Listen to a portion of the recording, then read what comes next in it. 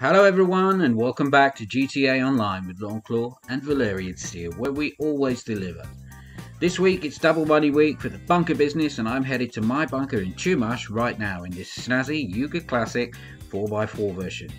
This is one of the new Benny's customizable vehicles which was added to the game in the summer update a few weeks ago and is usually 1.2 million but now 25% off this week.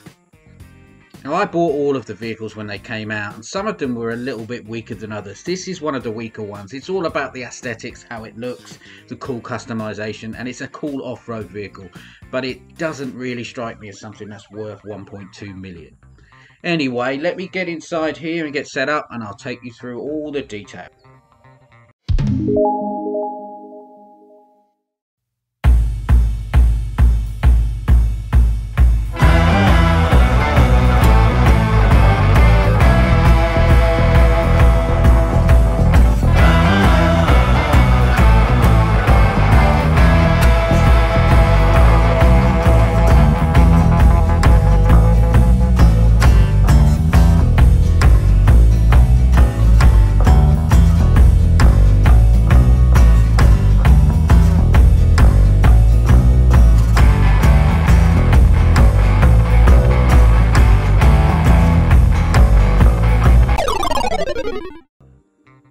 So, the bunker business is on offer this week along with all the upgrades and renovations.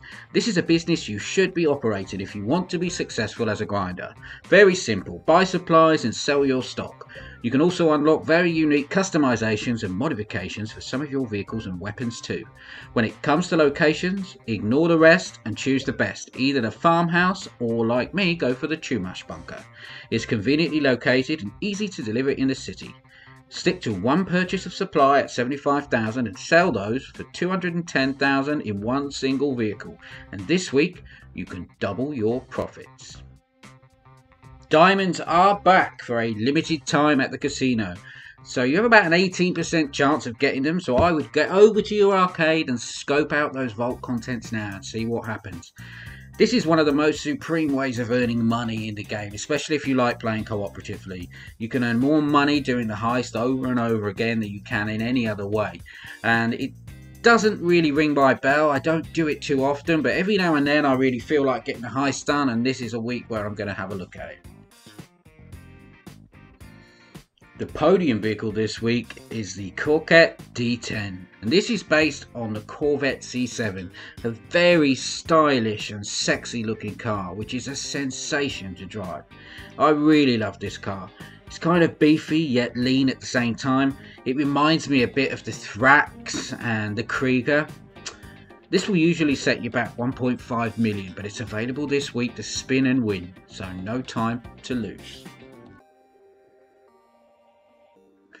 Next up is another new car from the summer update, the Landstalker XL. This might be my favourite of all of the new cars in the game. I really put it to the test in an off-road climb and it never lets me down. It's an amazing drive and it can cling to anything. Even if you're going horizontally up a cliff, it won't go back. 1.2 million and 25% off this week. So if you haven't picked up some of these new additions, then now's your chance. And finally, another one of my favourites is the Pegassi Zentorno, or the Lamborghini Sesto as it's called in real life. 40% off this week and an absolute classic. I customise this to go with my free lemon tracksuit which is available as an unlock for any player who joins this week.